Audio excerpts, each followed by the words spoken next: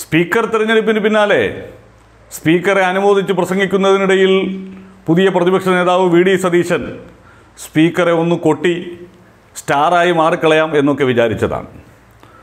സതീശൻ അങ്ങനെ സ്പീക്കറെക്കുറിച്ച് നടത്തുന്ന ആ പരാമർശം എന്തായാലും യു ഡി എഫ് അണികൾ ഭയങ്കര ആവേശത്തോടുകൂടി ഇതാ സിംഗം ആഞ്ഞടിച്ച് തുടങ്ങിയിരിക്കുന്നു എന്നൊക്കെ പറഞ്ഞ് പ്രചരിപ്പിക്കുന്നുണ്ട്.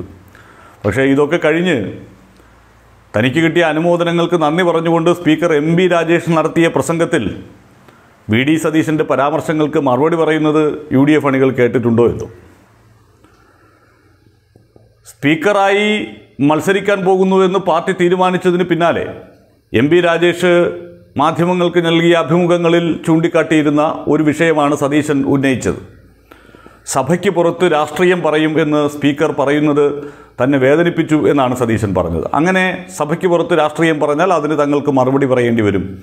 അത് സഭയിലടക്കം ഉന്നയിക്കേണ്ടി വരും. അത് വലിയ രാഷ്ട്രീയ സംഘർഷങ്ങൾക്ക് വാക്തർക്കങ്ങൾക്കൊക്കെ വഴിയൊരുക്കും. അതുകൊണ്ട് സ്പീക്കർ അങ്ങനെ ചെയ്യരുത് എന്നാണ് സതീശൻ പറഞ്ഞത്. അതായത് സതീശൻ ആകെ വിരട്ടി എം പി രാജേഷിനെ ചുരുട്ടിക്കെട്ടിയിരിക്കുന്നു എന്നുള്ള തരത്തിലായിരുന്നു ആ പ്രചരണം. പക്ഷേ കൃത്യമായി തന്നെ എം ബി രാജേഷ് തന്റെ പതിനൊന്ന് മിനിറ്റ് നീണ്ട ഉജ്ജ്വല മറുപടി പ്രസംഗത്തിനിടയിൽ.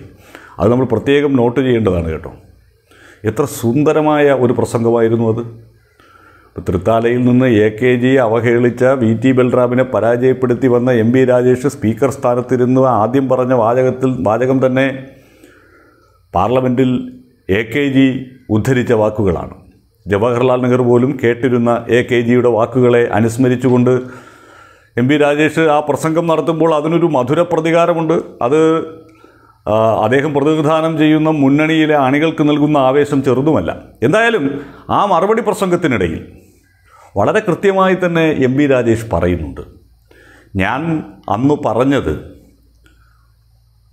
സഭയ്ക്ക് പുറത്ത് പൊതുവിഷയങ്ങളിൽ നിലപാടുകൾ പറയും എന്നുള്ളതാണ്. അത് പറയാനുള്ള അവകാശം സ്പീക്കർക്കുണ്ടല്ലോ. സ്പീക്കർ എന്ന് പറഞ്ഞാൽ വാ മൂടിക്കെട്ടിയിരിക്കേണ്ട ആളല്ല. രാഷ്ട്രീയ തർക്കങ്ങളിൽ ഭാഗവക്കാകാതിരിക്കുകയും സമൂഹത്തിലുള്ള പൊതുവിഷയങ്ങളിൽ നിലപാടുകൾ പറയാൻ ആർജവം കാട്ടുകയും ചെയ്യുക എന്നുള്ളത് തന്നെയാണ് സ്പീക്കർ സ്ഥാനത്തിരുന്നാലും ഒരു രാഷ്ട്രീയ നേതാവ് എടുക്കേണ്ട നിലപാട്. ആ നിലപാടിനെ കുറിച്ചാണ് താൻ പറഞ്ഞത് എന്നാണ് രാജേഷ് പറഞ്ഞത്. അത് ശരിയുമാണ്. വി ഡി സതീശൻ എന്ന് ഉന്നയിക്കുമ്പോൾ മാത്രമാണ് യഥാർത്ഥത്തിൽ അതിന് അങ്ങനെ ഒരു വ്യാഖ്യാനം ഉണ്ടായി വന്നല്ലോ എന്ന് നമ്മളൊക്കെ ചിന്തിച്ചത്. കാരണം രാജേഷ് അന്ന് പറഞ്ഞത് നമ്മളൊക്കെ കണ്ടതുമാണ് വായിച്ചതുമാണ്. അതിനകത്ത് അസ്വാഭാവികമായി ഒന്നുമില്ല. സഭയ്ക്ക് പുറത്ത് പൊതു നിലപാടുകളിൽ അഭിപ്രായം പറയുമെന്നാണ് രാജേഷ് പറഞ്ഞത്. അല്ലാതെ രാഷ്ട്രീയ നിലപാടുകൾ പറയുമെന്നല്ല. അത്രയ്ക്ക് വലിയ മണ്ടനൊന്നും മണ്ടനൊന്നുമല്ലല്ലോ. രണ്ട് പത്ത് വർഷക്കാലം പാർലമെന്റ് അംഗമായിരുന്നു എം രാജേഷ്. അങ്ങനെ കരുതാനും വയ്യല്ലോ.